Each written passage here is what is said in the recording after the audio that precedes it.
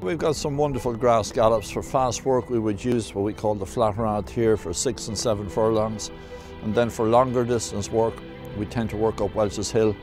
We've both nice peat moss gallops and grass gallops.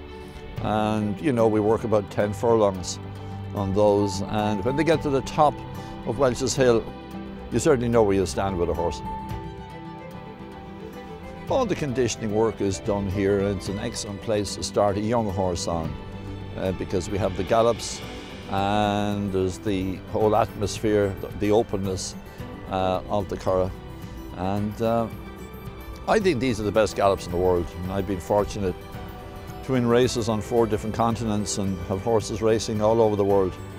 And I haven't come across a better place to train a horse.